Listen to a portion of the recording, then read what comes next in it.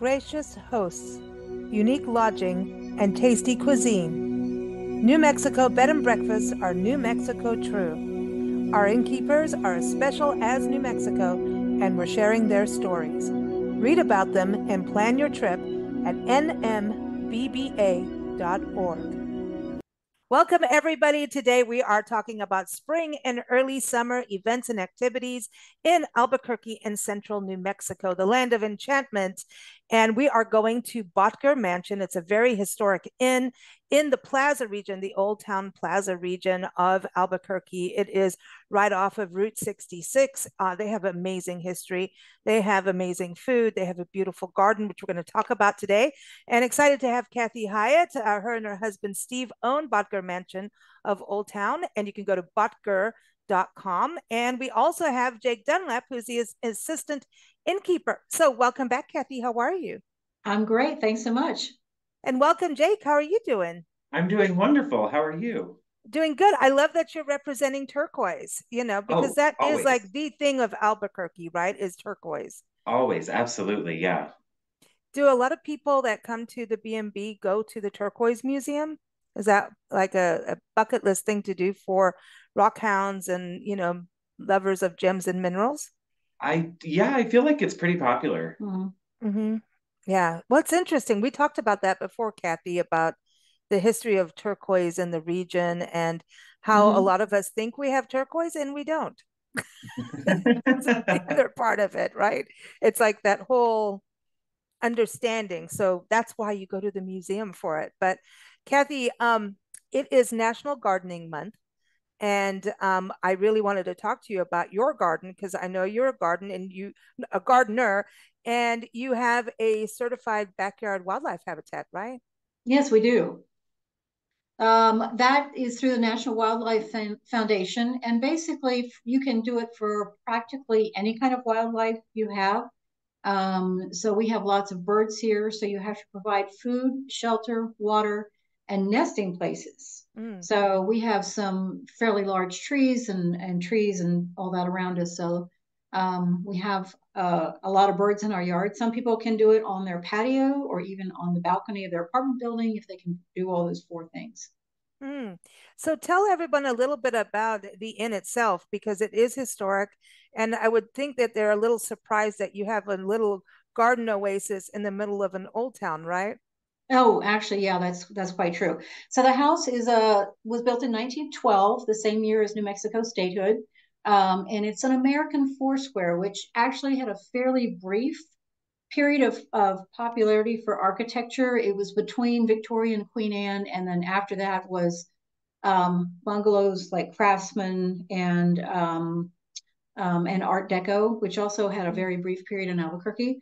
So it's it's a different architecture from the normal architecture that you see here. We have quite a lot of um, what they call Pueblo revival, um, which is um, made to mimic the Pueblos. So square buildings, flat roofs, um, portals on the front with the big timber posts, um, vigas that hold up the ceiling. Um, so they can be quite beautiful and they last here. So we have a lot of uh, mostly that type of architecture in New Mexico. Okay, so let's talk a little bit about your rooms because I know you've got the Route 66 room, which is going to be really popular because isn't well, I know it's popular and Route 66 is like really popular, but this anniversary is coming up. So I think you're going to have a hard time having that open for people to even book anymore. it's going to be it's going to be quite a year, right? When when is that anniversary? Um, it's in in in uh, 2026. So Route 66 was established um, in 1926, um, and I forget how many miles it is. It starts in Grant Park, basically in Chicago, and goes through eight states, um, mm. even clipping off a like 12 mile corner of Kansas, and then ends up at Santa Monica Pier in California. So um, and um, it became when people started having um, available money, discretionary income, if you will, um, to travel, and then Route 66, and then the, the television program helped a lot too. Um, but it became um, a road trip for people to go across the country and see, particularly from back east, uh, landscape and culture and all that that they'd never been exposed to before. Um, and there were, of course, a lot of Route 66 motels that sprang up.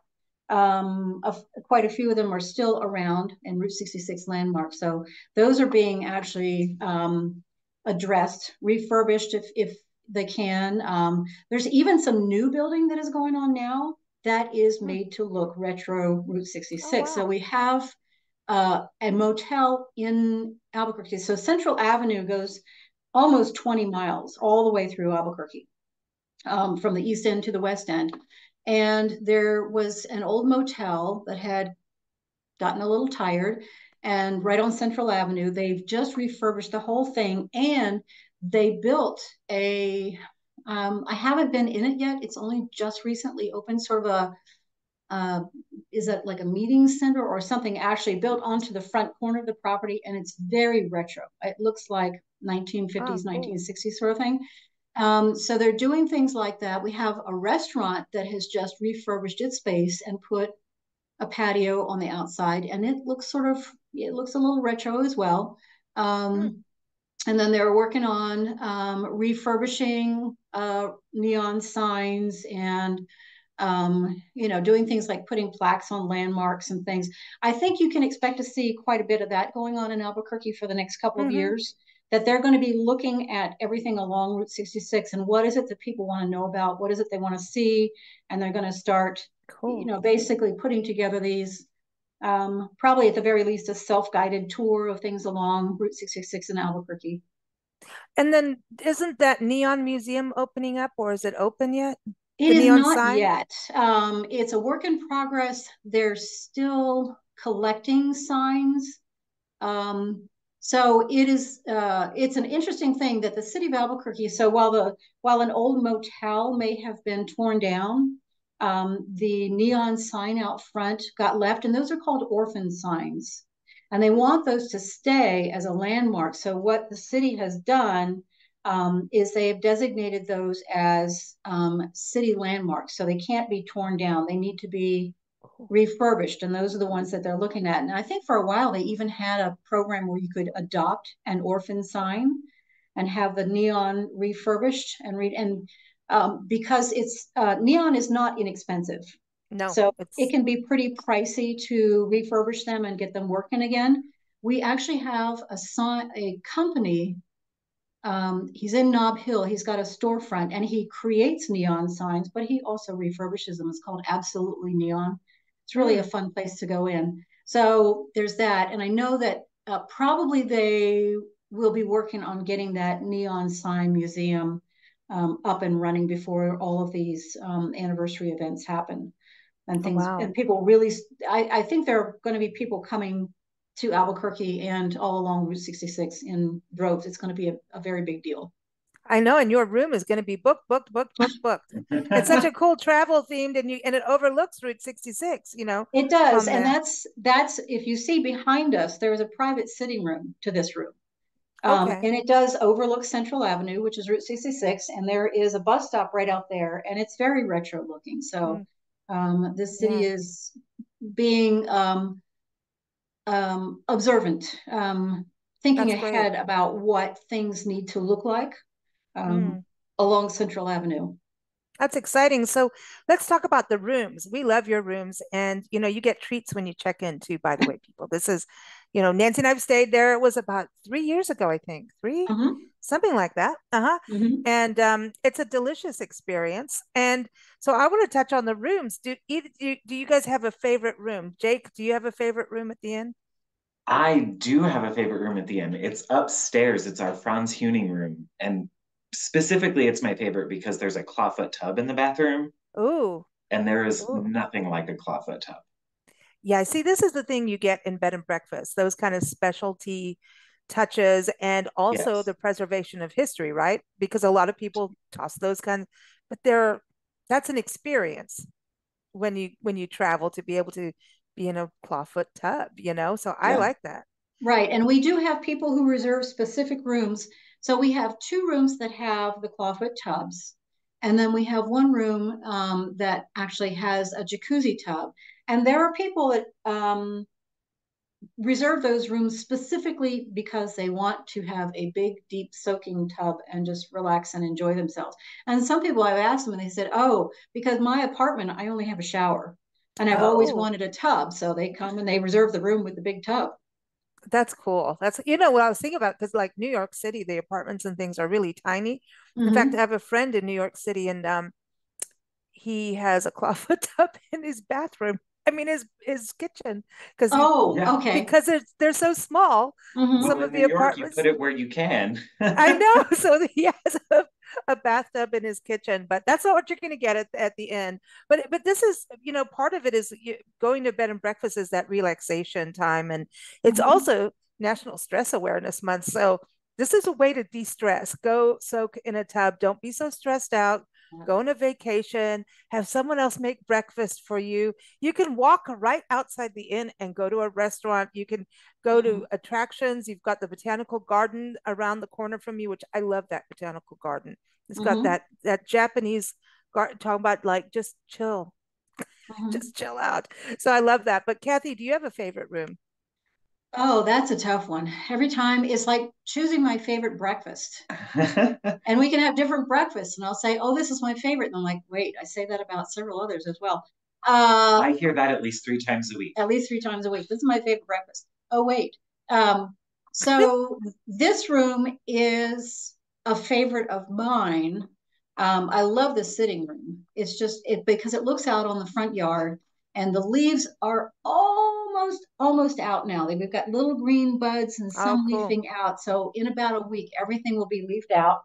Um, and um, it's it's sunny on the corner. We've got blinds, so when it gets real sunny and you want it a little bit not quite so bright, you can you can uh, tilt the blinds back. Um, and in spite of being right on Central Avenue and and the whole Route 66 thing, um, it's still fairly quiet. Um, mm-hmm. So it's got like a little area where you have your dining table, like a, a private little table area. I remember. Well, we've got a table in here. That's what we're sitting at. That's at. what it is. Oh, okay. Um, we've got it's a it's a gate leg table. It's an antique.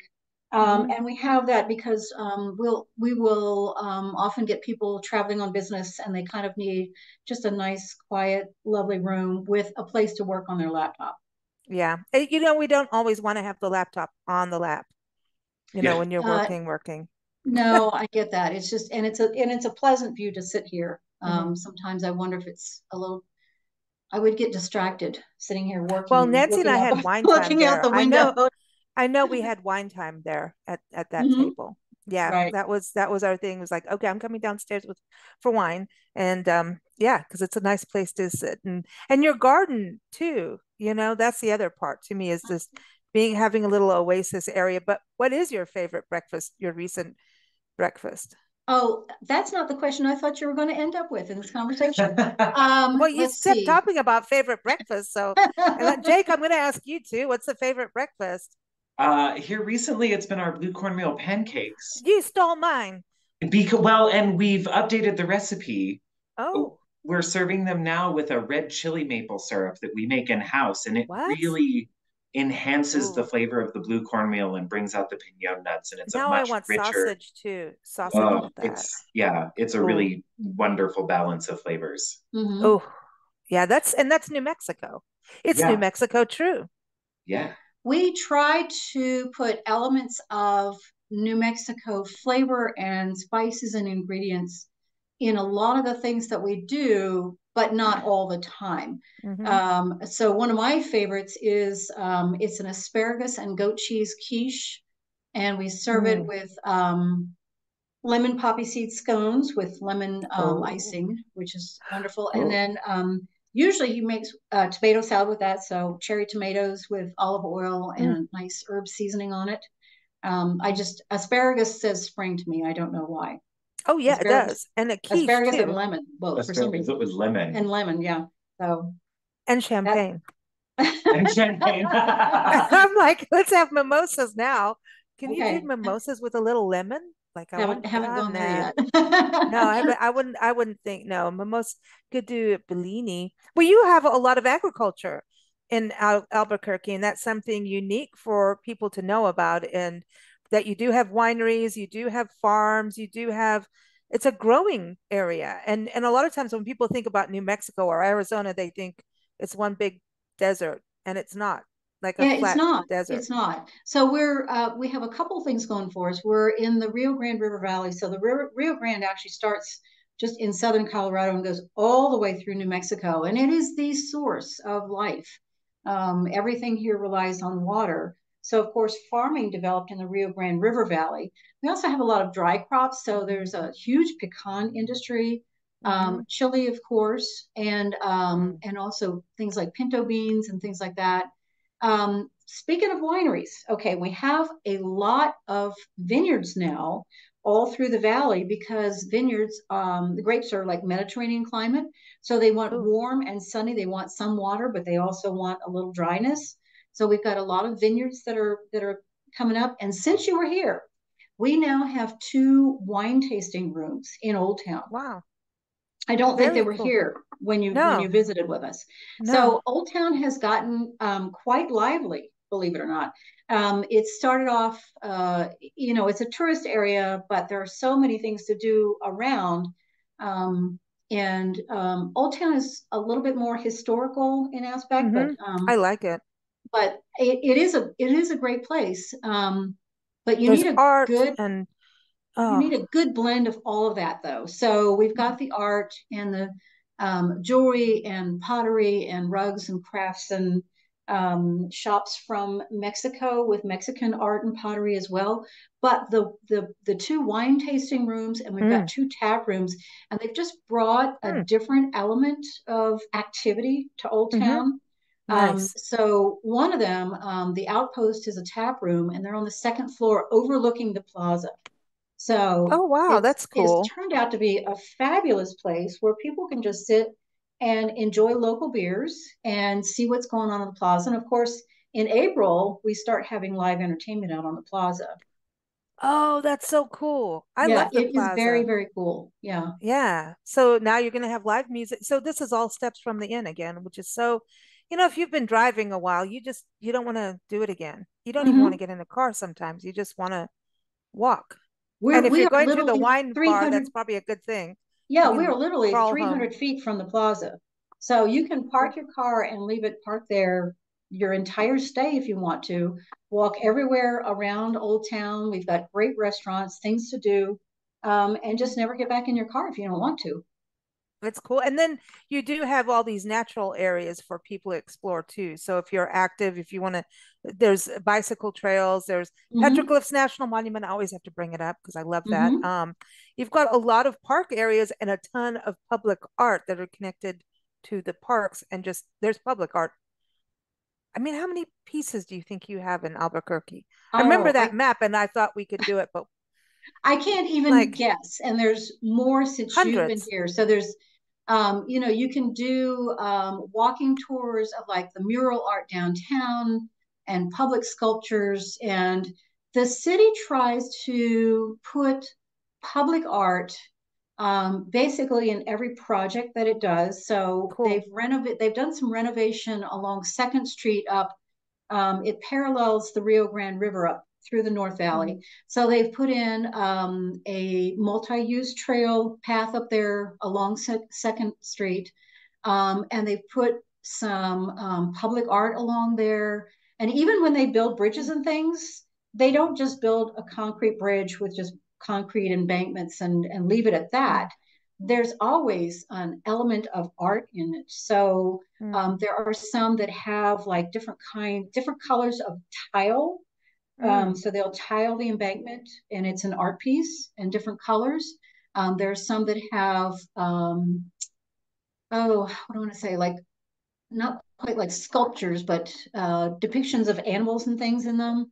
Um, there's so there's always, and even even the Big I, the big interchange mm. between Interstate 40 and Interstate 25, which is this very center of Albuquerque even in that big overpass, they've got a turquoise blue line of trim mm-hmm. that goes all the way around the edges of the railing. And it's just, it's amazing. It's attention to detail too. It makes it feel special. You know what I mean? Mm-hmm. That people yeah. care. And, and, it's, Jake, do you have any uh, places to recommend for art, for art lovers? Um, I'm involved a lot or in events. the theater community here, which oh, is cool. super vibrant. Um, and really? actually, in June, what's coming up is the big New Mexico Shakespeare Festival. And so oh, cool. they're a publicly funded theater festival that happens at an outdoor venue here in Albuquerque.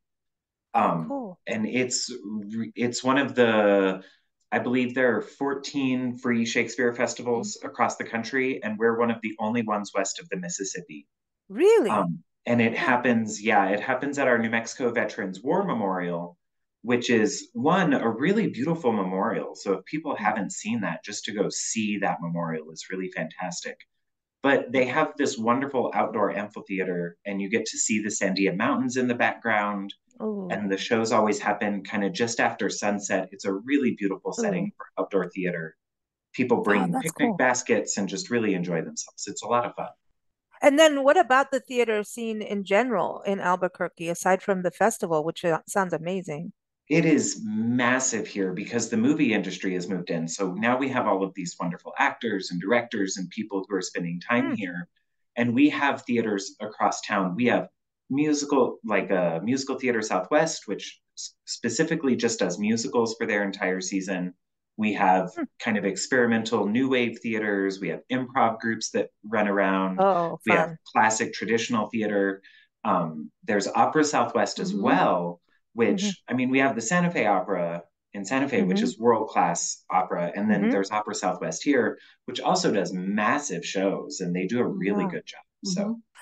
Well, and then on top of it, isn't flamenco is a big deal? Flamenco in Albuquerque. Yes, yes, mm-hmm. we have Magic. several major flamenco houses that do, and they range from doing stuff with kids to all the way up through you know seniors and such. So there's no wow set age range. It's really there fantastic. Are, I think at least three and maybe four uh, major flamenco venues um, that do performances on a regular basis. We also have the National Institute of Flamenco here in Albuquerque. Mm-hmm. Albuquerque has the largest presence of flamenco outside of Spain.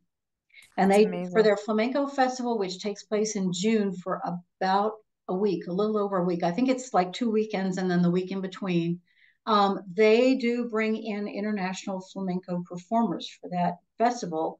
And they also, in addition to have the paid performances that people go to, they also do put on several um, free performances for the public. So they um, will have a performance here on the plaza. Um, wow. On one of those evenings and have free flamenco. And the city itself also um, pays for live entertainment on the plaza, um, usually cool. on Saturday, like Friday evenings and Saturday afternoons, and sometimes on Sundays. Um, that they will pay to have um, entertainers come to perform on the on the gazebo in the plaza, and um, um, often enough, some of those are flamenco performances. That is exciting to me. You know, mm-hmm. from now I want tapas and wine. and we have some really good tapas there, restaurants here too. Say, there's some really fantastic tapas bars here. Yeah. Really? Mm-hmm. Okay. Well, see, yeah. we're we're getting better and better. Like and food mm-hmm. food halls. We can talk about food halls. That's a, another thing that you have. The, is the uh, sawmill. The one closest to us. There are several in Albuquerque. The one closest to yeah. us um, is walking distance from here. It's less than a ten minute walk, um, and it's called Sawmill Market. Oh, um, and it, it was it um, it's in a renovated uh, lumber warehouse. Um, and my my my husband's family knows that because they were in the construction business, and so they said, "Oh yeah, that was Paxton Lumber." Um, and it was abandoned. It was vacant. I mean, it was owned, but it was vacant for a number of years. And they refurbished it, and it is a fantastic food hall.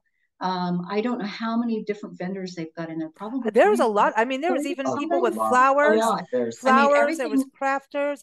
There was yeah. a beer the, bar, New Mexico sushi, beer bar. There's a yeah. great coffee bar. There's a pastry place, a Peruvian place um, that we went to. Yeah, there's there's there's a there's a new taco place.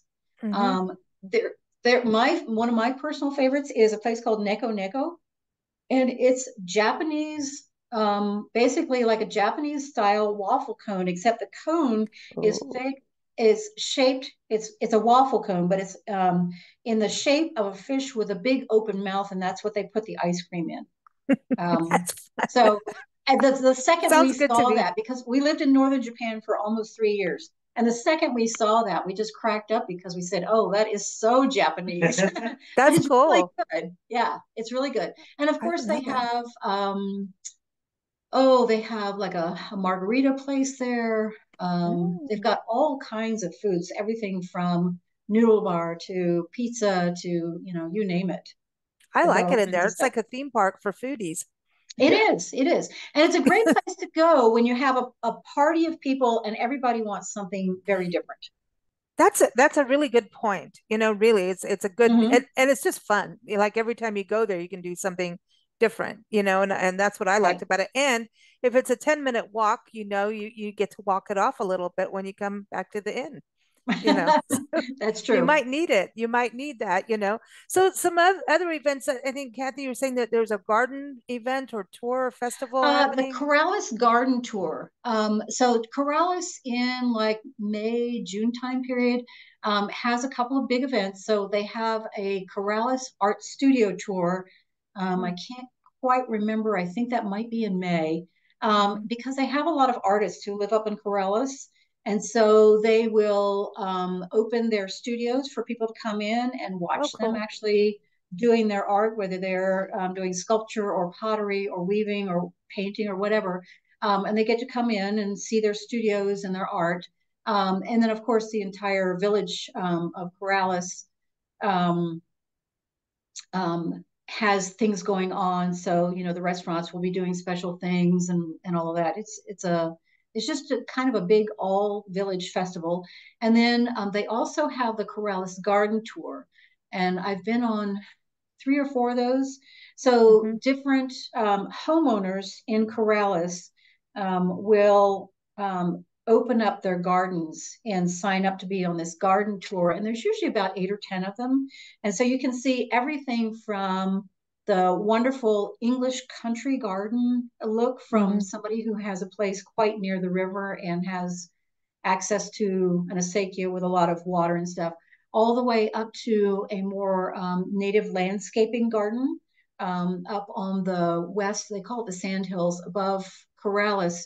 It's in a drier climate, but the views from up there are spectacular. And so their garden is more about um, native landscaping and the plants that do well up there in full sun and all that.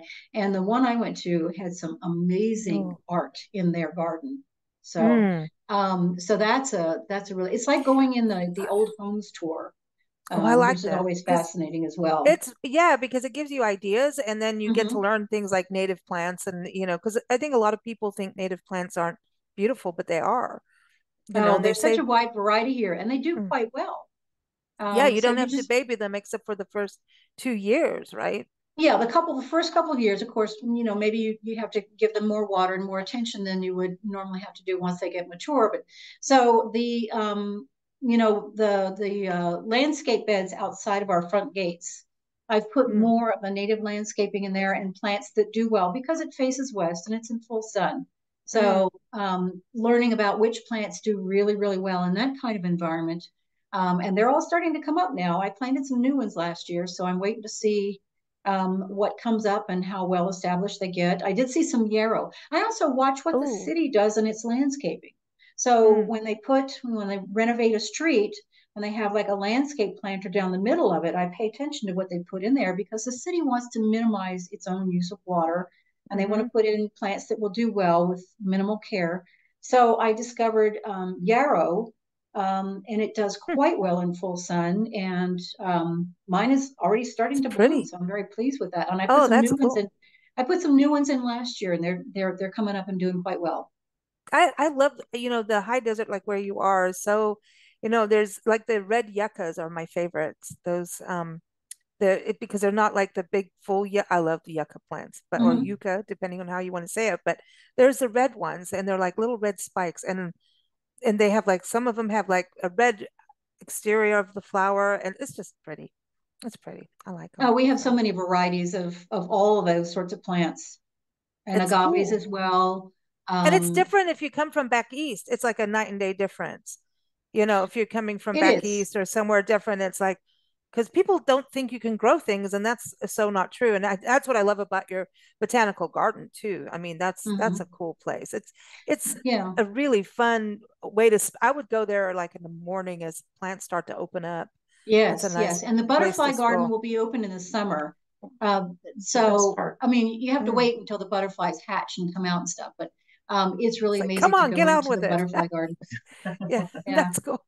Yeah, we're, we're at 5,000 feet too, which makes a good bit of difference. So at mm-hmm. this higher elevation, um, we are colder in this in the winter than than people would think. Although Albuquerque tends to not get much snow, we get we're still getting snow up in the mountains. We'll have a, a, storm front that comes through and drops the temperature, and they'll get you know eight inches. Um, um, we don't get that much in Albuquerque, but it does tend to make Albuquerque much more temperate. So things will grow here because we don't get quite so flaming hot as um, as some people might think, um, and they do quite well here. Um, mm. So it's I mean we get into the high 90s in the summer and we'll hit a few days over 100, but pretty much it's it's pretty reasonable. And you know you get up early, you do your yard work or whatever you're going to do outside, um, and you can even be out in the middle of the day. But you know, mm. Stay in the stay in the shade is good. Don't don't do heavy exertion in the middle of the heat um, sure. and drink a lot of water. And then if you drink a lot of water, you're allowed to have that extra wine. I'm just saying. I'm just going, I'm just going there. Okay, so I want to ask each of you, okay, spring is in full gear and we're easing into summer, early summer. So between the two seasons, if you were a guest at the inn, what would you want to do for the day? Um, just what would be your idea of like a perfect day in Albuquerque. So let's start with you, Kathy. Perfect day. And you could go all the way till dinner time so you can shout out a restaurant or two. Oh my. Um, it depends on um, what it is your interests are. So some people like museums more, um, in which case I always recommend the Albuquerque Museum of Art and History. Um, it actually owns an original Georgia O'Keeffe, which you look at it and you'll immediately know that that is the real deal. That's a real Georgia O'Keeffe. Um, and amazing collection of art and history as well. Um, and then the Indian Pueblo Cultural Center is also a museum, but it, it talks about the 19 pueblos, pueblos of New Mexico um, and has art and artifacts. And they have a wonderful restaurant called the Indian Pueblo Kitchen. Um, so it's basically they try to do um, a lot of Native American foods. Um, and it's also kind of a fusion of New Mexican food because we're all blended in together that way. But you will see um, some recipes with blue cornmeal, um, bison, the different squashes and beans and things like that. But it is a really fantastic restaurant. Um, and um, and they also have members of the different pueblos um, do dances on the weekends on Saturdays and Sundays. So there's that. Uh, the Sandia Peak Tram um, is oh, that's a yeah a spectacular view from um, Sandia Peak, um, and that's definitely worth the trip. So those are my three really iconic ones, and then um, depending on what your interest is as far as you want to drive along Route 66 or you want to go to the Botanic um, Garden is also a, a really good Botanic Garden is fantastic no matter what season you go, even in the middle of winter. Yep. A really good garden has good bones. So even though they might not have the flowers and the leaves and everything out that you um, would normally think about a botanic garden. It's the structure and all the things that they've got in there. And they've got a big, um, the Japanese garden and the koi pond and the cactus houses and things like that. It's always great to go to the, um, the botanic garden. Um, and then you can end your day with a fantastic meal at high noon. And I think they have the best margaritas in town, which is never a bad way to end your day. Um, High Noon has been there since 1974. It's family owned, and they're they they are amazing food. So that's one of my favorites. Wow, that sounds like a busy day. Flowers. It can be a busy day. There's a ton culture. of stuff. So so yeah, on our website, a... we have itineraries. Yes. And so for people who say, what can I do if I only have one day in Albuquerque? What can I do if I have two days, three days, four days? So if you stay here at the Bottger Mansion and make it your home base. You can start with whatever, you know, the, the top iconic must do things in Albuquerque. And then after that, you can branch out into things and you just get to more of a special interest thing. So even if you're into quilting, we have fabric stores and quilt stores here, and you can indulge in um, Southwest looking fabrics, things like that. Um, you can go on um, some walking tours, walking self walking tours around um, some of the uh, historic homes here close into the downtown area. I mean, we've got some fabulous historic houses, and all the way from mm. you know the the small New Mexico style Pueblo style houses um, from the 1800s mm. through Victorian and Queen Anne and Craftsman and that's and amazing. I love um, that. I love that you have that diversity. What about you, Jake? What's your perfect day? I would say starting with a nice hike in our East Mountains. Earlier, okay. you mentioned the petroglyphs, which are out west of town, but our East Mountains, where the Sandia Tram is, has the, mm-hmm. that hiking is second to none. You know, you can either take a nice easy trail, you can do a harder trail if you're more experienced, and it's it's a good good blast. It's beautiful mm-hmm. country, beautiful scenery, and you can get out and do something like that early in the morning maybe grab coffee for lunch somewhere because we have amazing local coffee shops. I mean, oh, okay. Just Good. any local coffee shop I would highly recommend. Stay out of the Starbucks, go local. oh, well, yeah, yeah. We we're not yeah. we're not here. Yeah. Um, exactly. And then along Central, which is Route 66, there's a really fantastic selection of antique stores. Um, okay. and just different little like antique malls and different stores where you can find vintage furniture, you know, retro from the 50s. You can go back even farther. Cool. And that's one of my favorite things to do is because I It is appreciate if, Antiques Day today. Did you know that yeah, as we yeah. record? I didn't know that, but I'm definitely a person that does. I don't none yeah. of my furniture is new. I don't do it. It's you know, no, no. I love that old kind of lived in feel to it. But so. you're keeping history alive with buying antiques. I yes, think. absolutely. You're keeping yeah. stories then, alive. Yeah. Mm-hmm and then I'd probably cap off the evening with a good show somewhere. You know, we've got, uh-huh. like I said, we have fantastic local theater. We have Popejoy Hall at UNM, which brings mm-hmm. in Broadway tours. A while back, they upgraded Popejoy Hall so that they could fit bigger shows in. As oh wow, uh, yeah, and so we get fantastic Broadway tours here. We get The Lion King and Wicked and all those big shows. Mm-hmm. Really? Yeah. What's oh, yeah. going on in Albuquerque, man? It, oh, it seems it's like happening. it's just but growing in a in a positive way. You know what I mean? Mm-hmm. When you mm-hmm. hear about growth, people go, "Oh no, no, no, no!" But I mean, like it's adding to like quality of life mm-hmm. for locals and then for visitors coming in too. That there's always something to see and do. Every time I go on the Visitor Bureau website, I'm like, I can't keep up. there's a ton. There's Try a living ton. here. It's a lot. Well, that's fun. That's fun. Yeah. So everyone go to bottger.com, B-O-T-T-G-E-R, bottger.com uh, to make reservations and learn more and see those itineraries. Um, but if you guys are booked, if, if everyone goes to nmbba.org, which is the New Mexico Bed and Breakfast Association, you do have some other inns in the neighborhood, right? In the mm-hmm. big neighborhood. You've got one that's a farm style and then one, the Sleepy Lobo Inn, which is uh, historic inn as well. So there's other inns to check out, and you guys mm-hmm. all work together too. Right. Mm-hmm. Yeah, that's really cool. Very cool. Well, thank you so much for being back on the show. All right. Thanks for having us. Nice to see you, Jake. Nice to see you. Take care, everyone. All right. Bye. Gracious hosts, unique lodging, and tasty cuisine. New Mexico bed and breakfasts are New Mexico true. Our innkeepers are as special as New Mexico, and we're sharing their stories. Read about them and plan your trip at nmbba.org.